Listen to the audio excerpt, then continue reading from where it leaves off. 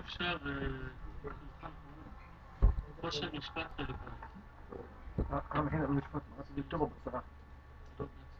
מלכה בצרה? בכה בצרה.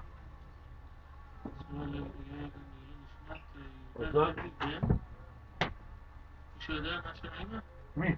יהודה לוי, זה שלמד פה. לא מי? הוא נפטר? מי זה? עד שהייתם בשיעור. עשה בשיעור? לא, לא מסע. היה כאן אה, משתתפי השיעורים, אולי בשיעורים יותר בבוקר, יהודה לוי.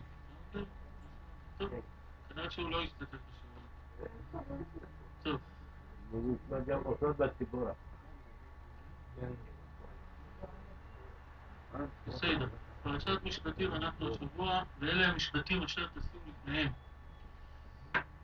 רש"י מביא מיד בתחילת הפרשה את הדרשה של חז"ל, הגמרא במסכת גיטין דף י"ח אומרת, אשר תשים לפניהם ולא לפני העקום, דהיינו לא לפני הגויים. כלומר, אדם שיש לו משפט עם חברו, צריך לשים את המשפט שלו לפני... לא משנה, כרגיל. בסדר. אז לפניהם ולא לפני גויים. עדיף סוד. כלומר שאסור לישראל לשים את דיניהם לפני הגויים, אלא רק לפני דייני ישראל.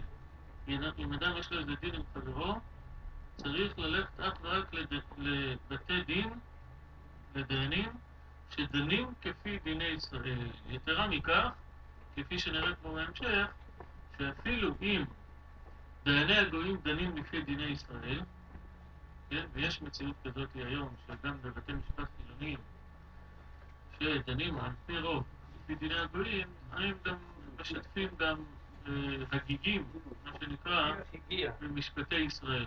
אז צריך לדעת שגם אם דנים כדיני ישראל, מאחר ובאופן עקרוני רוב הדינים שלהם כפי דיני הגויים, אסור ללכת ולדון לפניהם. הרמב"ם כותב שמי שהולך לדון לפני דייני גויים ולא הולך לפני דייני ישראל, זה חילול השם, וכאילו הרים יד בתורת משה. כן? זה לא כאילו. אלא באמת הרים יד בתורת משה. ולמה? כי הדבר הזה הוא חילול השם עצום. אתה אומר במעשיך, מה האמרה שאתה אומר? שהדינים של ישראל הם לא כדין, הם לא משפטים ישרים, ואתה חושב לעצמך שהדינים של אומות העולם הם משפטים ישרים. אז אתה כופר בעצם בנתינת התורה מסיני, ואתה כופר בתורה עצמה, למה? כי בעצם אתה נותן יד למשפטי הגויים, משבח את משפטי הגויים. תסתכל לנסות. גדול הדבר הזה.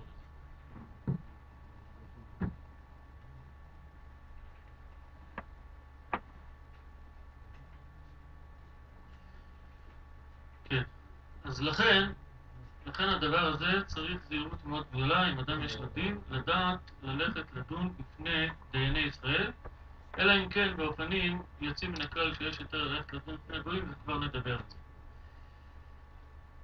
למעשה, יש כתוב בפסוק, ונתתי להם, למי זה להם לגויים, חוקים לא טובים ומשפטים בא לחיובה. לא, המשפטים של הגויים הם משפטים שאי אפשר לחדרם. כן, זאת.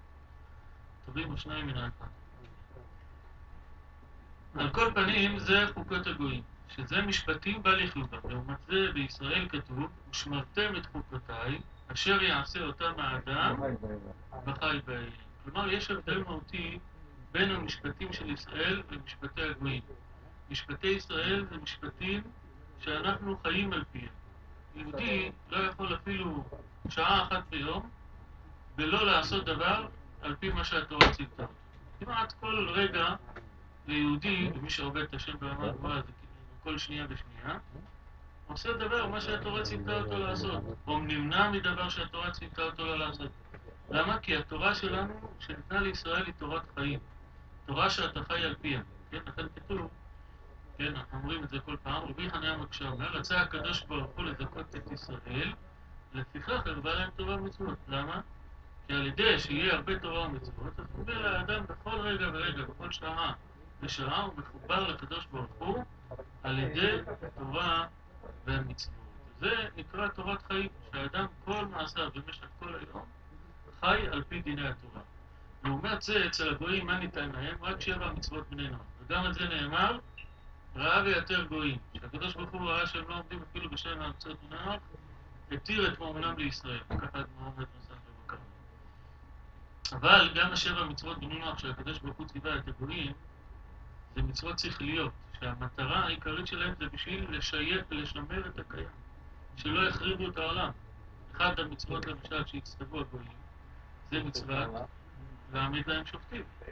יש להם לגויים מצווה, אחד משבע מצוות בני נוער, להעמיד להם שופטים, שידונו אותם לפי, לפי השכל שלהם, הם לא צריכים לדון לפי דיני ישראל. אין להם חובה לדון כפי דיני ישראל, כפי דיני התורה. הם צריכים לדון כפי מה שהשכל הישר אומר להם, כן? על פי החוק הבריטי, על פי החוק ה...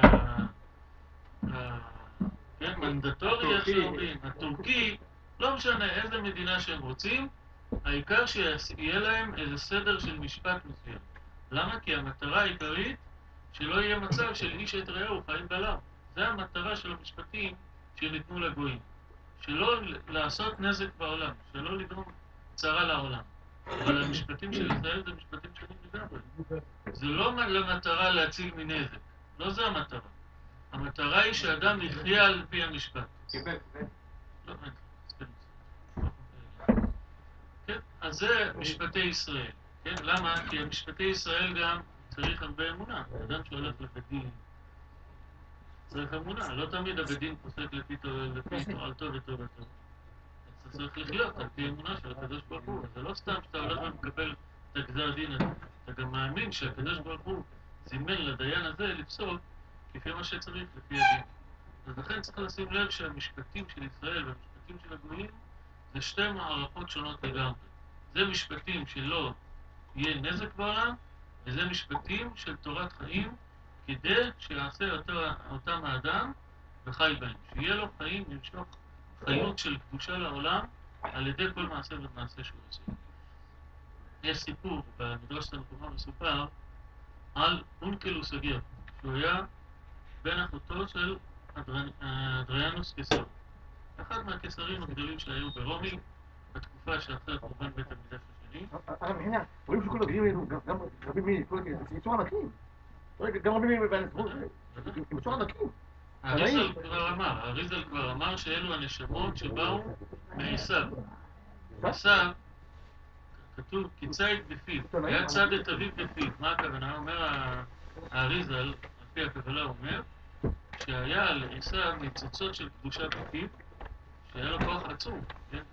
הדרגה הרוחנית שלו היה אפילו יותר גבוה מיעקב אבינו בפוטנציאל שלו. של- בסופו של דבר הוא נפל לבין הקליפות. אבל בדרגה הרוחנית שלו היה מקום מאוד גבוה. אז לכן, יצחק, הוא נמשך אחרי עשיו, בגלל שהוא ראה את הניצוצות העצומים שהיו בפיו, שזה כל התנאים הגרים שהיו אז בזמן חורבן בית המקדש, בעיקר רבי עקיבא ורבי מאיר. כל התורה שבעל פה שיש לנו, זה התורה הזאת של הגרים האלו, שיש לנו. גם שמאי והלל היו תלמידיהם של שמעיה. כל, רוב, כל התורה שבעל פה שיש לנו, זה תורה של גרים, שהתגרדו. בעיקר רבי עקיבא, שרוב התורה שבעל פה, כמו שהגמרא במסכת סנהדרין אומרת, שרוב התורה שבעל פה נאמרה על ליבא דרבי עקיבא. יש בזה עניינים גדולים. על כל פנים, זה נכון, שרוב התורה שיש לנו זה מכוחם של אותם גרים. אחד מהם היה אנקלוס הגר, שהוא היה בן אחותו של הקיסר. הוא יום אחד רצה ללכת לעשות לביתו, מה שנקרא, להתפרנס, לעשות מסחר.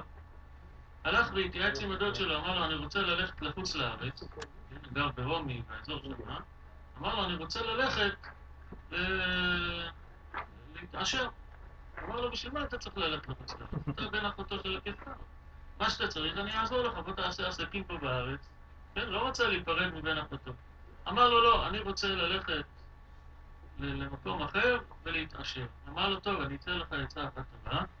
אמר לו, אתה תעקוב אחרי הסחורות שיש בעולם, כשתראה סחורה שהמחיר שלה בשפל, מיד תזדמן, ת, ת, תלך תקנה אותה, ותחכה עד שהיא תתייקר. אז ככה תתעשר. ככה מתעשרים. כן, לפעמים ההבדל בין עשיר לעני זה רק שהעשיר יש לו איזה סכום כסף מסוים. והוא יודע למצוא את הזמן הנכון ולקנות סחורה טובה ולהתעשר. ככה זה, זה, זה מה שחז"ל אומרים, שבתר ענייה לא עניות העני, אין לו איך להתעשר. העשיר, הוא לא נולד עשיר, אבל היה לו איזה סכום ראשוני שהוא יכול להתעשר ממנו. כן, היום אומרים פתגם, שכל הקושי זה לעשות את המיליון הראשון. כן, אבל מי שיש לו כבר מיליון ראשון, יכול לעשות כבר כמה מיליון. יש פתגם כזה. אז הוא גם כך, היה לו כבר את הסכום הראשוני, אמר לו, תיקח סחורה, אחי, שבשפל ותתעשר. טוב, הוא הלך לארץ ישראל, מצא את רבי יהושע ורבי מאיר, רבי יהושע, סליחה, ורבי אלעזר, שמלמדים תורה, ונמשך מאוד לתורת ישראל. והלך לפניהם, אמר להם, אני רוצה ללמוד תורה. אמרו לו, אי אפשר ללמוד תורה אם אתה לא מל. קודם כל תמול, כן, הוא היה גר אמיתי, כן, לא יודע מזויף שרוצה רק בשביל לקבל אה, אה, סל קליטה, מה? הוא רצה באמת למשלח, נמשך ללימוד התורה. אמרו לו, אין בעיה, אתה רוצה ללמוד תורה? בבקשה, אבל אתה צריך לפני כן למול ולקבל על, על עצמך, על תורה ומצוות. הלך מיד, מל את עצמו, וישב, והגה, ולמד תורה כמו שצריך. אחר כך חזר לדודו, אדריאנוס קיסר. ורואה אותו, לא נראה כמו יהודי, שומר תורה ומצוות, כל דבריו דברי תורה, אמר לו, מה קורה, השתבשת? מה הלכת, נדבקת לעם הזה? אחרי חורבן בית המקדש השני, עם ישראל היו בשש, בשפל שבשפלים. אמר לו, היא הנותנת. אתה, מה אמרת לי?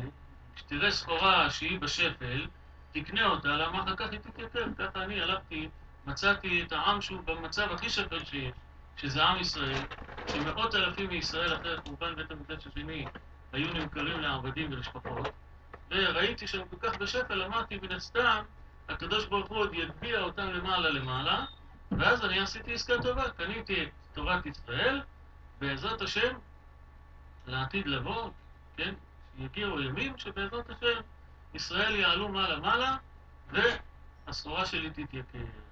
אז זה מה רואים שהוא אמר... כן. נכון. במניות זה לא תלוי. זה עובד. תלוי כן, טוב, מי ש... אדם בעל ניסיון לשמוע. כן, טוב, בכל מקרה, אז נכון, ככה זה בדרכו של עולם. דבר שהוא בשפל, גלגל, חוזר לעולם. דבר שהוא בשפל, בסוף עולה. דבר שהוא למעלה, בסוף יורד. על כל פנים, מה רואים מכאן? שתורת ישראל היא תורת חיים. לא היה אפשר לאונקלוס הגר, כן, שאנחנו לומדים את תורתו עד היום. כל תרגום אנקלוס שיש לנו על התורה, שיש שם הרבה רזי תורה בתרגום אנקלוס, כל זה מזכות אותו הגר שלמד תורה, אבל מה בתנאי אחד? שמל את עצמו. למה? כי אי אפשר ללמוד תורה בלא שאדם יקיים את כל המצוות כמו שצריך. התורת ישראל זה תורה שהיא תורת חיים. אדם צריך לקבל את עול התורה וגם ליישם את זה הלכה למעשה, לנהוג את כל חייו על פי תורת החיים. לכן אומרת לנו התורה מיד, בתחילת הפרשה, ואלה המשפטים אשר תשים לפניהם. שצריך לדעת ההבדל המהותי שיש בין תורת ישראל לתורת הגויים, בין משפטי ישראל למשפטי הגויים. גם משפטי הגויים זה דבר נצרך בעולם, אבל אין לזה שום ערך והשוואה למשפטי ישראל שהם משפטים שאנחנו חיים על פיהם שהם תורת חיים. למעשה הזוהר הקדוש אומר, על, ואלה המשפטים אשר תשים לפניהם, אומר הזוהר הקדוש, כאן הזה בגלגוליה. כלומר שכאן נרמז לעניין הגלגול. ידוע שעד לפני כמה מאות שנים בישראל היו אפילו הרבה מחכמי ישראל שלא האמינו בתורת הגלגול. אבל מאז שהתגלה ספר הזוהר, וגם אחר כך האריזה הפיץ את זה בעולם כמו שצריך, אז הדבר הזה של עניין של הגלגול הוא דבר מוסכם מכל חכמי ישראל. כל חכמי ישראל שיש לנו שעסוקים בתורה ומצוות, מאמינים בדבר הזה בהחלט, שיש עניין של גלגולים, שאדם שחטא בגלגול קודם, חוזר כדי לתקן את מה שלא תיקן בגלגול הקודם. לפעמים אדם יכול לחזור בכמה וכמה גלגולים. אבל מה העניין דווקא שהעניין הזה נרמז, ואלה המשפטים אשר תשים לפניהם. אז אומרים, יש מעשה שהיה בזמן הבעל שם טוב. הבעל שם טוב הקדוש, בזמנו היה יהודי אחד שבא לפניו, לפני הבעל שם טוב, וסיפר לו מעשה. אמר לו, היום הלכתי באחד היערות, וראיתי איזה שר גדול הולך הסוס שלו ברוב פאר והדר, ועצר בצד לאחד, ליד אחד האילנות, ונח במקום שמה. כשהלך לדרכו, הוא לא שם לב, ונפל לו אה, ארנק מלא בזהובים. טוב, לא שם לב, הלך לדרכו. הגיע לשם איזה אחד, שהוא עני ואביון, מצא את הכיס הזה של הזהובים, לקח את זה בשמחה רבה והלך לדרכו גם הוא. אחר כך הגיע לשם עוד עני, כשהגיע העני השני, הגיע פתאום השר הזה והתחיל לחפש את הכסף שלו, גילה שהכסף כסף שלו אבד, ראה את העני הזה שם במקום, אמר בטח הוא לקח את זה. מי יכול לקחת את זה? רק העני הזה. כמה הוא זקוק לכסף הזה. תפס אותו, התחיל להכות אותו, ללא רחם. אמר לו, תביא לי את הכסף, מאיפה לקחת, איפה הבאת את הכסף? כן, עשה לו חקירה, שתי וערב, כדי להוציא ממנו איפה הכסף, אבל בסוף, כמובן שלא נמצא אצלו הכסף, כי זה שלקח את הכסף כבר נעלם מזמן. זה מה שראה אותו אחד, והלך לבעל שם טוב, הקדוש וסיפר לו את הסיפור הזה. אמר לו, בוא אני אגלה לך את הסוד של הדברים שראית. כן, לפעמים אדם רואה ולא מבין מה הוא רואה. אבל אני אגיד לך, ברוח קודשו, הבעל שם טוב ידע מה הוא ראה. מה היה הסיפור? אמר לו, תדע לך, זה, השיר הגדול הזה, שהוא חזר, הוא היה גלגול של אחד שהיה חייב הרבה כסף לאחד שלקח ממנו כסף שלא כדין. ולכן הוא חזר בגלגול הזה, כדי שיעבדו לו המעות האלו, ויבוא העני, שהוא בגלגול קודם, זה שגנבו ממנו את הכסף, ויחזיר לו על ידי זה שהוא ימצא את הכסף. נתנו לו הזדמנות לחזור בגלגול כדי להחזיר את מה שהשקיע. אמר לו, אם כן, מה זה העני הזה כך חטף את המכות? אמר לו, העני הזה הוא השופט הזה שהוא פסק לשיר הזה, בגלגול הזה, בגלגול הקודם הוא פסק לו שלא כדין את הכסף הזה, ואז בגללו התגלגל הגניבה הזאת, לכן חזר בגלגול הזה לקבל מכות בשוט כדי לכפר על מה שבגלגול הקודם גרם לאחד לגזול את חברו. זה אמר לו הבעל שם טוב, לכן לפי זה מובן היטב העניין של הקשר שהתורה רומזת על עניין של הגלגולים דווקא בעניין המשפטים. למה? כי המשפטים זה משפטי צדק, שהקדוש ברוך הוא מנהל את העולם בצדק. איך הוא מנהל את העולם בצדק? אחד מהדברים זה על ידי העניין של הגלגולים, שהקדוש ברוך הוא לפעמים, אדם רואה, וזו הסוגיה שלמה במסכת ברכות. כבר משה רבנו שאל את הקדוש ברוך הוא על העניין הזה שלפעמים צדיק ורע לו, רשע וטוב לו. אתה רואה צדיק, כולו מלא במצוות, תורה ומעשים טובים, סובל ייסורים בעולם. מצד שני, אתה רואה אדם רשע כל היום חוטא ומחטיא ועושה עוולות לכל בני אדם, והקדוש ברוך הוא שותק לו, אז אתה חושב שהכל בסדר, הכל רגיל. לפעמים יש רשעים שמתים גם בשלווה, כן? לא, לא קורה להם כלום בעולם הזה. אז אתה בטוח שחלילה אין כאן משפט צדק, אבל זה לא ככה. תדע שיש גלגולים. לפעמים זה שאתה רואה שהוא סובל גלגול של אחד שעשה מעשה עוול בגלגול הקודם שלו. וזה השיר הזה שאתה חושב שהוא נהנה בעולם הזה בלי, בלי משרות ומעשים טובים, בלי שום... שמגיע לו שכר, תדע, זה לא ככה. בגלגול קודם הוא עשה מעשים טובים שאתה לא יודע עליהם, ומגיע לו שכרו בעולם הזה. כמו שכתוב שהרשעים, הקדוש ברוך הוא, הורה עליהם בעולם הזה. לכן, אחד מהעניינים שאנחנו מאמינים במשפטי התורה, זה העניין, אחד הדברים שמחזקים את העניין של משפטי התורה שהם משפטים ישרים, זה העניין של האמונה בתורת הגלגול. שצריך לדעת שהעולם הוא לא הפקר, כן? כי זה חשוב מאוד מאוד לדעת את הדבר הזה. שהעולם הוא לא הפקר. כל דבר שאדם לוקח שלא כדין, בסופו של דבר מחזיר. אם לא יחזיר בשמחה, יחזיר חלילה בצער. אם לא יחזיר בגלגול זה, יחזיר בגלגול הבא. ואם אדם חלילה נכשל באיסור גדול של גזירה, אז מסכן, לפעמים יצטרך לחזור כמה וכמה גלגולים. הקדוש ברוך הוא רחמן, כן? העניין הזה של, של, של הגלגול זה רחמנות על האדם. הקדוש ברוך הוא נותן צ'אנס, כן? גם בעולם הזה, אם אדם טועה באיזה דבר, אין צ'אנס, אין צ'אנס לתקן. אם אדם נכשל באיזה דבר, אין צ'אנס לתקן. אבל בעניינים של מצוות מעשים טובים, יש צ'אנס לתקן. אשריו ואשרי חלקו של מי שזוכר עוד בגלגול הנוכחי לתקן, ומי שמתפלל על זה, כן?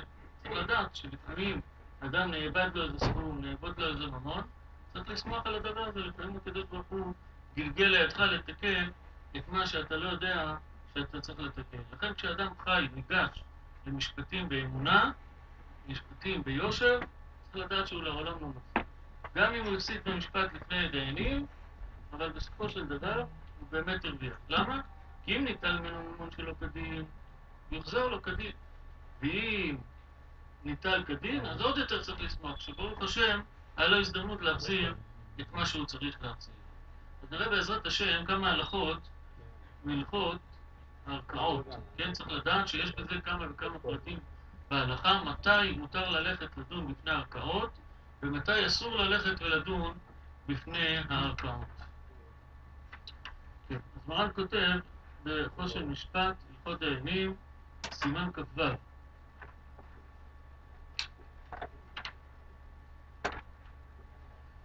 אסור לדון בפני דייני עקום, כן, עקום, ראשי תיבות, עובדי כוכבים ומזלות. זה לאו דווקא מישהו עובד כוכבים ומזלות, אלא הדין הוא כלפי כך כותבים, הפוסקים, הראשונים כבר, הרשב"ס ועוד הרבה ראשונים, שהדבר ברור שאין חילוק בזה בין גויים שהם עובדי כוכבים ומזלות לגויים שהם לא עובדי כוכבים ומזלות. עצם זה שאתה זונח את האפשרות לדון בפני דיני ישראל והולך ודן בפני חוקי הגויים, הדבר הזה עצמו הוא חילול השם בהרמת יד בתורת משה. אפילו בדין שדנים בדיני ישראל. כן, אפילו אם אתה יודע שבאותו הדין שאתה, הספציפי, שאתה צריך לדון בו, הבית משפט הזה הוא דן כפי דיני ישראל. אפילו אחי צריך לדעת שהדבר הזה איסור חמור ללכת לדון בפניהם. למה? כי עצם זה שאתה הולך לפני דיינים שכל הזמן עסוקים במשפטי הגויים ואתה מניח את האפשרות ללכת לפני דייני ישראל, אז אתה מודה שדייני עקום ודייני ישראל שווים, או לפעמים יותר טובים. אז לכן הדבר הזה הוא חמור בפני עצמו. כן, צריך לשים לב שיש שני חלקים באיסור הזה ללכת לפני דיני הגויים. דין אחד שאסור זה מצד חילול השם, שאתה מודה שכביכול הגויים יש להם כוח יותר, התורה שלהם כביכול תורת אמת, יותר מתורת ישראל. אחרת למה אתה הולך דווקא לפניהם? אתה חושב שהם דנים יותר בצדק מדייני ישראל. זה עוון אחד של חילול השם. עוון נוסף זה אם על פי זה שהלכת לדייני הגויים, הם מצאו ממון שלא כדין. כן? הרבה פעמים אדם הולך לפני בית משפט והם פוסקים שלא כפי דיני ישראל, אז הדבר הזה לא רק שיש בו חילול השם, יש בו גם איסור של גזל. גזלת ממון שהוא לא שייך לך באמת. על פי חוקי ישראל, הממון הזה הוא לא שלך. אז לכן יש כאן שתי איסורים. איסור של חילול השם ואיסור של גזל. כבר נראה שיש נפקא מינה בין שתי העניינים האלה.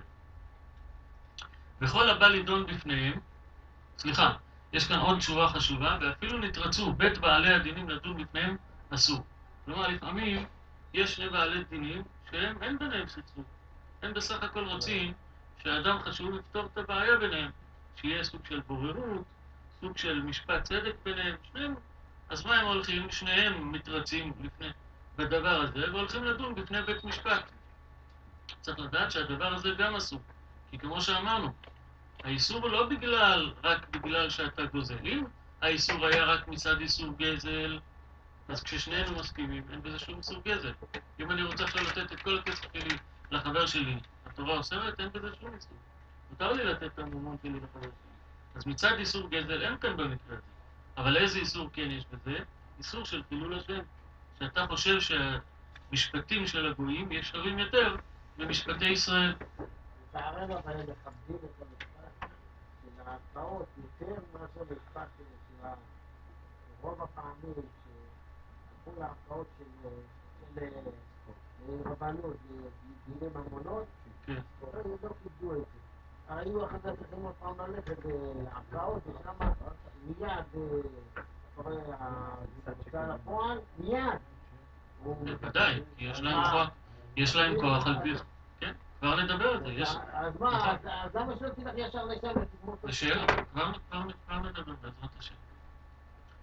וכל הבא לידון בפניהם, הרי זה רשע וכאילו חירף וגידף והרים יד בתורת משה רבנו עליו השלום. תראו כמה הדבר הזה חמור שזה עוון חילול השם. ידוע שהרמב"ם פוסק להלכה שעוון חילול השם, אין שום דבר שמוכר את זה. חוץ אולי למעט קידוש השם, שאדם עושה לכפר על החילול השם שעשה.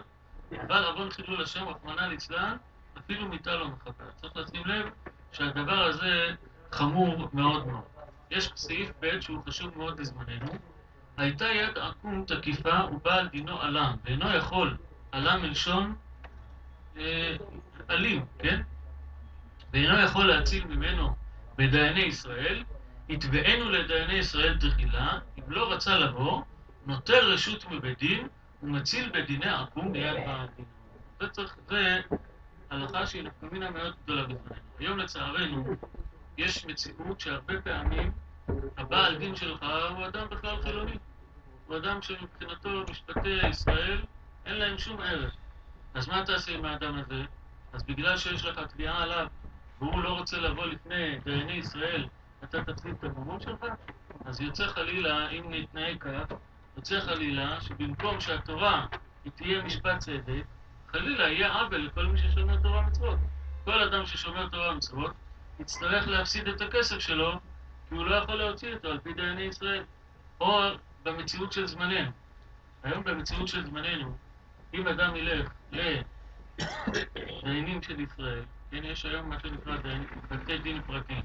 בתי דינים רבניים היום לא מתעסקים בכלל בדיני ממונות. למה אין להם אישור מהממשלה להתעסק בדיני ממונות? מתעסקים רק בעניינים של אבן העזר, דיני גיטין, דיני כתובות וכאלו.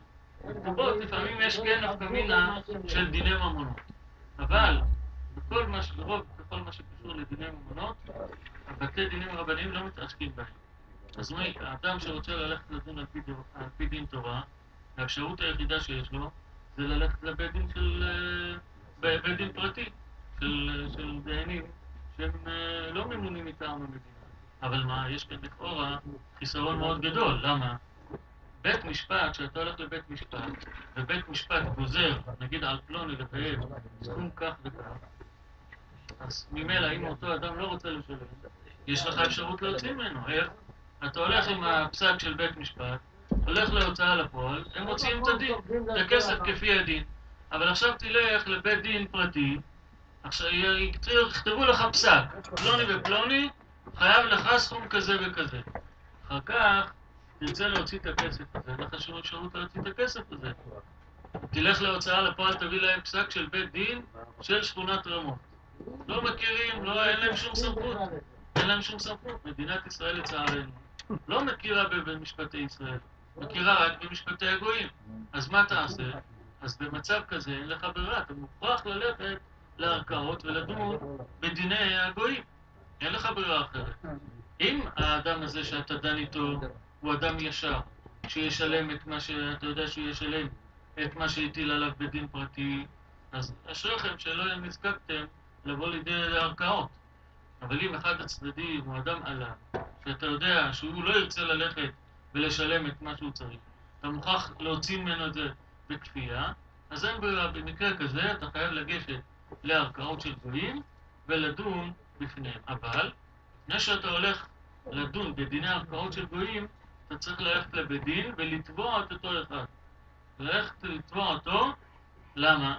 כי אם עכשיו כל אחד יגיד, טוב, החבר שלי הזה, בטח הוא לא ירצה לשלם, בטח הוא עלם, בטח הוא כך וכך, אז כל אחד ימציא, לה, יעשה דין לעצמו, ייקח לעצמו רב פרטי, וידון, זה דיני ממונות. כפי שהדיינים, כשם שהדיינים בדיני ממונות, אסור להם לדון בדיני ממונות כשהם לא נמצאים שני בעלי הדין לפניהם, כך גם אסור לפסוק, ללכת לערכאות, אם שני בעלי הדין לא נמצאים לפניהם. למה? כי אולי הוא יש לו טענה למה הוא לא רוצה לבוא לבית דין הזה, למה הוא לא רוצה ללכת לבית דין פלוני, למה הוא לא רוצה לשלם. אולי יש לו איזו טענה טובה. אז דבר ראשון שאתה צריך לעשות זה להזמין אותו לבית דין. אם לא הזמנת אותו לבית דין, והלכת, קיבלת אישור מאיזה רב ללכת לערכאות, אין לדבר הזה שום ערך. עדיין אתה בעיסוק. מתי יהיה מותר לך ללכת לערכאות? כשאתה מזמין את אותו פלוני לבית והוא לא רוצה להגיע, מאיזה סיבה לא משנה, מאחר שבדין רואים שהוא לא רוצה להגיע, אז הם נותנים לך אישור ללכת לדון בפני הערכאות, כן? ויש יותר כזה. אם באמת האדם הזה, שהוא הנתבע, לא רוצה ללכת לדון בפני דייני ישראל, מסרב בשום אופן לדון בפני דייני ישראל, אז אין ברירה, אתה מוכרח ללכת להוציא את הממון שלך בערכאות. אבל מה צריך לשים לב דבר אחד? לפעמים, נגיד אתה תובע מחבר שלך סכום נגיד של עשר אלף שקל, כן? הוא לא מוכן לבוא לבית דין, בשום פנים ואופן לא שומע, וכל חכמים לא רוצה לבוא לבית דין. אז מה אתה עושה? הולך, כמו שאמרנו, הולך לבית דין של ישראל, לבית דין פרטי, ותובע אותו. אם הוא מגיע לבית דין ומוצא את הטענות שלו ואומר מה הסיבות שהוא לא רוצה לשלם, הנה מה טוב. אם הוא לא מגיע, מה אתה עושה? אתה הולך לבית משפט. אבל עכשיו אתה הולך לבית משפט, לפעמים הם מחמירים גדולים. לפעמים הם לא מוציאים רק את מה שהוא חייב לך, הם מוציאים לך גם עוגמת נפש. כן, אה, איך זה- בבית. משפט? אם אתה רוצה לקיים סכום מסוים, אתה לוקח עורך דין, מה זה, מה המקצועיות של העורך דין? שהוא יודע לרמות. כמה שיותר. כן, כמה שיותר רמה, יותר מוצלח, יותר, יותר טוב. אז הוא מרמה, במקום לעשות תביעה של 10,000 שקל, כמה הוא תובע? 50,000 שקל. למה? אחר כך תצטרך להגיע לפשרה, תשלם רק 25,000 שקל. ככה עובדים היום. למה? גם בתי משפט יודעים. הם יודעים מלכתחילה, אם אתה... הם מלכתחילה כשהם מציעים פשרה, הם לא מציעים פשרה של הסכום הגדול. למה? הם יודעים שזה בלוף. הם יודעים מי עומד לפניהם והם יודעים גם מי הם בעצמם. אז מה הם עושים? מלכתחילה מציעים לו את הפשרה. אז הדבר הזה הוא ודאי, זה רמאות וגזל. למה? על פי הטריק הזה אתם מוצאים המון שלא כדין. אז אתה הולך עכשיו לבית משפט, איך? הוא לא- הוא לא זה זה. יפה. אז אתה הולך לבית משפט, בית משפט, הוא הלך לצד שלך, עשה בדיוק מה שרצית. פסק לא לך, אני לא ביקשתי. בסדר, אחרי פשרה, נכון, הוא, הוא הפושע. הוא לא רצה לבוא לדון בפני דייני ישראל. אז עכשיו אני הולך לבית משפט, אני יודע שעל פי דין תורה אני יודע. שעל פי דין תורה מגיע לי סך הכל עשר אלף שקל. אני עכשיו הולך לבית משפט, תובע חמישים אלף שקל, כן, כי מגיע לי עוגמת נפש, פיצויים על? כן, פסיכולוג שהייתי צריך לקחת בגלל הבעיות של התביעה. עורך דין, הוא יכול כן, אולי לקחת, לא עליו. פסיכיאטר, אולי אה, צריך לעבור דירה בגלל הנזקים של... לא, כל מיני קשקושים שאפשר להמציא. בבית משפט, הכל קביל שם. אפשר לעשות- ל- ל- להגיד מה שאתה רוצה, ויכול להיות שתקבל גם. בסופו של דבר, שילמו לך, נתנו לך, פסקו לך, 25,000 שקל. אתה יכול עכשיו, גם אם הוא לא ירצה לשלם, אתה הולך להוצאה לפועל, מקבל 25,000 שקל. אם יתמזל מזלך והוא גם איחר לשלם, יש גם ריביות, יש פיצוי על הפיצוי, כן? אז יפה מאוד. אז מה רע בזה? הוא לא רצה לשלם 10, ישלם 25. אתה צריך לדעת, על פי דין תורה, אסור לי לקחת את הסכום הזה. למה? כי כמו שאמרנו, יש שני בעיות בבית משפט. יש בעיה אחת של חילול השם. טוב, מצד חילול השם לא היה לי ברירה, הוא לא רצה לבוא לבית דין של ישראל. מרן בשולחן ערוך התיר ללכת לבית משפט, אבל מרן לא התיר את ממונו של האדם הזה. אדם שגנב 10,000 שקל מותר לקחת ממנו 20,000 שקל? אין כזה יותר בהלכה. מה שמותר לי לקחת, מותר. מה שאסור לקחת, אסור.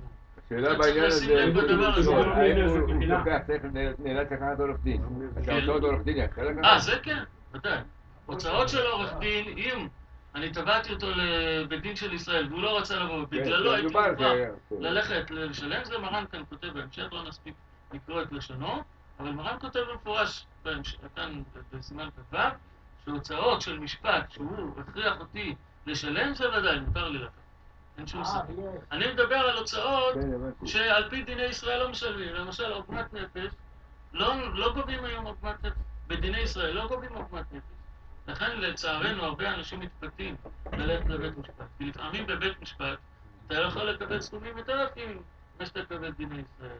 אז לכן, בשביל זה צריך את ההקדמה שהקדמנו. שאנחנו הולכים לבית משפט, לבית דין, אנחנו לא הולכים רק על פי חוקי השכל. אנחנו הולכים גם אמונה בקדוש ברוך הוא. אדם צריך להאמין, הוא עשה לך עוגמת נפש, הוא ישלם את זה. או שהוא ישלם בגלגול הזה, או ישלם בגלגול הבא. אתה תקבל את מה שלקחו לך. אבל כאן בעולם הזה אתה יכול לקחת רק מה שמגיע לך על פי דיני התורה. אם התורה התירה לך לקחת עשר אלף שקל, קח עשר אלף שקל. התירה לך עשרים, תיקח עשרים. אבל פרוטה אחת יותר, אל תיקח מה שמגיע לך. לכן, אחרי שאדם הולך לבית משפט וזוכה במשפט בעל כוחו יותר ממשהו שהוא רצה, אז אם מלכתחילה, אז קודם כל מה צריך לעשות? ללכת לרב, לשאול אותו כמה מותר לי לקחת. יש כספים שיכול להיות שלכתחילה אסור לי לקחת, אבל אם כבר הוציא מכיסו, יהיה מותר לי לקחת. לפעמים יש דינים של מוחזק. לכן צריך לדעת ללכת בפני בית דין. כן, רצוי לא ללכת בפני חכם אחד, אלא בפני בית דין של שלושה דיין- דיינים, שיפסקו לי כמה מותר לי לקחת ממה שזכיתי בבית המשפט. כן, למה? כי כמו שאמרנו, אסור בשום אופן לקחת יותר ממה שמגיע לי על פי דיני ישראל. צריך אה, לשים לב, הרבה. נכשלים בדבר הזה. אם יש לו אה, ביטוח. כן, ביטוח, עכשיו הביטוח לא היה בלדין טוב, זה בטוח. נכון, נכון. אז אה, אין לו ברירה, הוא חייב לקחת עורך דין. עכשיו העורך דין, הוא יודע איך, מה לדרוש ב... או, או, או, או, או עם החברה עצמה, או בבית משפט. והוא מוסלם להרבה דברים. כן, בסדר, אז? חברת ביטוח, יכול להיות שכל מה שמשלמים מגיע לך. על פי רוב, בחברת ביטוח, כל מה שמשלמים מגיע לך. ולמה? ולמה? אני אסביר גם למה בביטוח זה שונה. כי בביטוח הם מלכתחילה התחייבו לך לשלם את כל מה שהם חייבים לשלם על פי בית משפט. אז הם ויתרו מלכתחילה. על הממון שלהם. אז זה בעיה. אז הם, על פי רוב, כדאי להתייעץ תמיד עם חכם, אבל על פי רוב, בביטוח לא צריך לחשוש. אם שילמו לך מה שמגיע לך, אתה יכול לקחת. למה? כי קודם כל, על פי רוב, צריך לדעת, חברות הביטוח זה בכלל לא חברות של ישראל. רוב חברות הביטוח זה של גויים. רואים? כי למה? כי גם חברות הביטוח כאן של ישראל, יש להם חברות ביטוח יותר גדולות שמכסות אותם. והן על פי רוב חברות ביטוח של גויים. כן. אבל כמו שאמרנו, גם אם זה היה של ישראל אין בעיה. למה? כי הם מלכתחילה מתנים, הם בשביל זה הם מוכנים שתשלם להם ביטוח. למה? כי הם. מוכנים לשלם לך לפעמים יותר ממה שבאמת מגיע לך, רק בשביל שאנשים יבואו לעשות אצלם ביטוח. זה העסקה בביטוח. ביטוח זה עסקה מיוחדת שהם מוכנים לשלם לך מה שמגיע לך. זה משהו אחר. אם אדם רוצה לשלם לך מצד עצמו, זה אינטרס שלו לשלם לך. אז זה משהו אחר. אני דיברתי על דינים פרטיים שיש בין אדם. לחבר שלו. מה לגבי גוי, שאתה תובע גוי? הוא. נכנס לך באוטו מאחור. אז הוא לא, מה לא עובר לבית דין? אה, אתה הולך בערכאות, כן. השופט קבע, אה, אה, דוגמה, על- את כל הנזק. כן. זה מותר לך, זה- מותר לך. למה? עכשיו, הוא לא רצה לשלם, הוא היה קטין, אין לו, זה של בנק, כן, עכשיו כרגע אין לו משכורת. כן. אז ה- ה- זה אומרים לי, תמתין שנה שנתיים, אנחנו נגבה לו על ריבית, הצמדה וקיבלתי במקום גוי אין בעיה. 1,800, קיבלתי של 5,000 שקל. כי גם לקחו גם לעצמם, אתה יודע. בגוי אין לנו בעיה בדבר הזה, כי גוי. מחויב מצד עצמו לדון כפי דיני הגוי. אז אם דנים אותו כפי דיני הגויים, אין בזה שום בעיה. כל הבעיה- שום. בעיה, שום בעיה. בדיני הגויים זה דבר שיש בו צדק, כן? לכאורה. כן? אם היה היום סנהדרין בישראל, צריך לדעת שלצערנו, ואני אומר את זה בצער רב, שלצערנו, אנחנו לא תמיד יכולים לעשות משפט כפי הדין. לכן לא, פה- לא אחת ולא שתיים קורה שהולכים לבית דין והם מתירים ללכת לערכאות של גויים, ולמה? בגלל שלא תמיד באמת אפשר לגבות כפי מה שמגיע כפי הדין. ולפעמים אנשים מנצלים את זה, שאין משפט בישראל, אין משפט של ישראל שאפשר לכפות עליו, ומנצלים את זה, עושים בכל העולה על רוחם. לכן צריך לדעת איך להתנהל בתוך המצב הבעייתי הזה, שאנחנו כביכול, אין לנו בתי משפט מסודרים שיכולים לכפות את הדינים של ישראל, ואנחנו חיים במדינה שלצערנו כל המשפטים שלה על פי משפטי הגויים, ובכל זאת אנחנו צריכים לדעת איך להתנהל, שלא יהיה חלילה מצב שאנשים ירא שמיים מאבדים את כל ממונם בגלל שאין בבתי משפט של ישראל. אז צריך לדעת מה עושים לכתחילה, אדם לא מפסיד, צריך לדעת. יש ספר חסידים כותב על גזל הגוי, כן, יש הרבה אנשים שמתירים לעצמם לגזול גויים, צריך לדעת שאין בזה שום היתר בהלכה לגנוב את הגויים. ספר חסידים כותב שמעולם לא ראינו אנשים שהתעשרו בגלל שגזלו את הגויים. צריך לדעת, אדם שגונב אפילו גויים, בסופו של דבר הוא לא מרוויח שום דבר מהדבר הזה. אז לכן צריך להתחזק בנקודה הזאת, לדעת, כל משפט שיש לאדם בין אדם לחברו, צריך לדעת איך לעשות שלא יהיה חלילה לא איסור של חילול השם ולא איסור של גזל. יהיה רצון שיתקיים בנו אשיב אשבתך כבראשונה, ויעשייך כבתחילה מן המזבית המן ובשתי המלך.